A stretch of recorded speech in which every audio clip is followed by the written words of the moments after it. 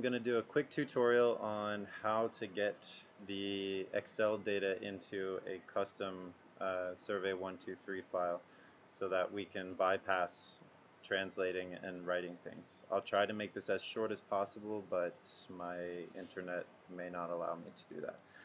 Alright, so right now I'm just on the uh, ArcGIS homepage.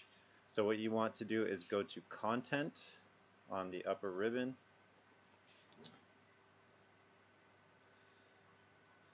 and it'll say drag and drop your content here and you'll see that these say feature layer, feature layer, feature layer. So that's what we want to do. We want to create a feature layer out of the Excel file.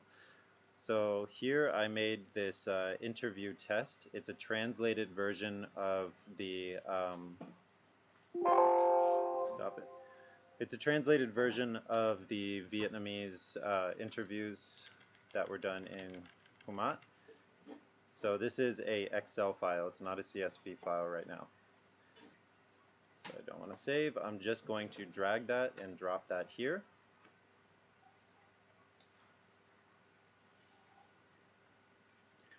Saying analyzing interviews.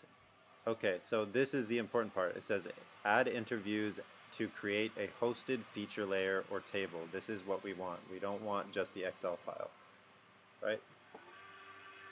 So it'll show all of the names. You can change them if any of them are wrong. Like for example, if one of the uh, numbers are being read in as a string, you want to change that to an integer or a double if it's continuous data.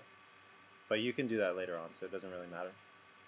Okay, so we're going to press next. It's going to identify our latitude and longitude fields. If these are incorrect, just go through and change them to the right one. Okay, and I'm just going to call this interviews test because I'm going to delete it later. Um, you can add them to categories or add a summary. I'm just going to say this is a test.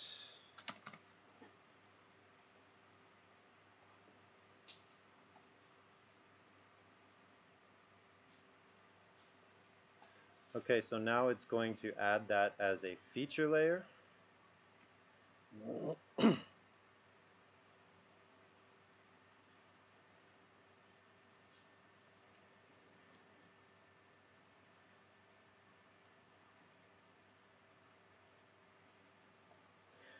Okay, so we see this is a test. It's called interviews test, and it's a feature layer. So now we're going to open survey 123 connect.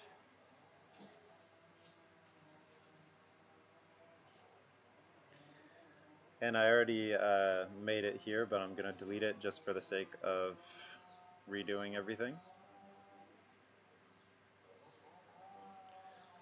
Okay, so the first thing we need to do is go to New Survey, and we use Featured Service. So this is the second one from the bottom. We're going to type in test, and it should come up as test survey, uh, or interviews test, yeah, interviews test, and create survey. So right now we get this error and I did this on purpose because if you do this incorrectly like I just did, then you'll get the property supports apply edits with globals must be true. Okay, so if you get this error, the way to uh, bypass it is to go into your feature layer. So you go into gallery or content. So let's say I just went back into our ArcGIS content page I see interview test, the feature layer.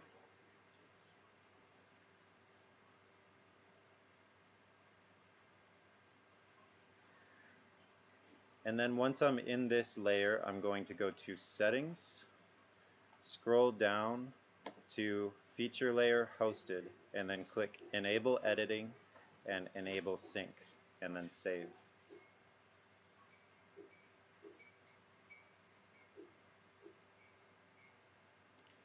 Okay, and once that is saved, you can make your new survey. Go to Feature Service, write Test to find Interview Test. Now uh, the um, syncing is enabled. Press Create Survey.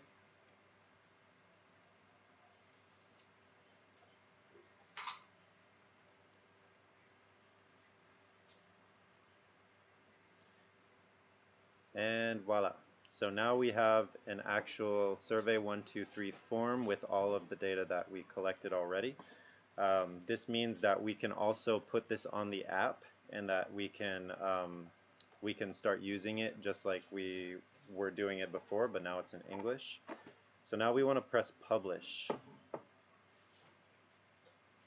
Okay, publish survey.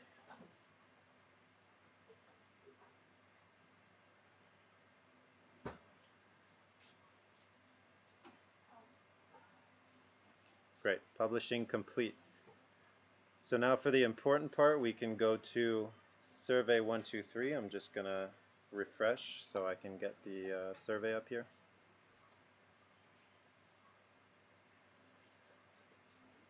And we called this form 4, right? So I didn't name it here. Uh, if I go back, I can double check. This is called form 4. So now we can uh, edit, we can collaborate, we can analyze, and we can export the data. So I'll just do the quick analysis.